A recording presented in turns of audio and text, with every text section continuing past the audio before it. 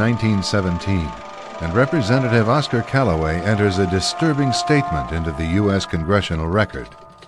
The statement reveals why J.P. Morgan interests hired 12 high ranking news managers. The 12 were asked to determine the most influential newspapers in America. They were to figure out how many news organizations it would take to control generally the policy of the daily press of the United States.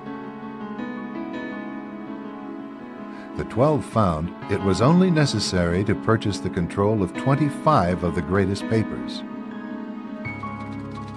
An agreement was reached. The policy of the papers was bought, and an editor was placed at each paper to ensure that all published information was in keeping with the new policy. Soon, that policy would be defined by a front group formed by J.P. Morgan and his colleagues. In fact, Morgan's personal attorney was founding president of the organization, the Council on Foreign Relations.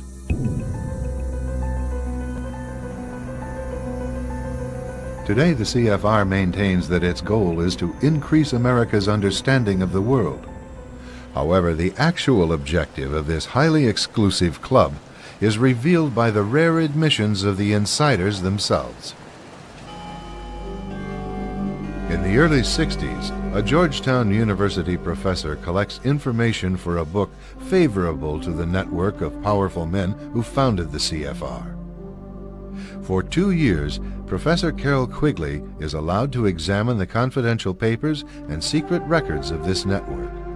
Quigley reveals that these men aim to create a world system of financial control in private hands, able to dominate the political system of each country and the economy of the world as a whole. In short, they seek total and quiet control of the entire world and the CFR is their most visible conduit for carrying out that agenda.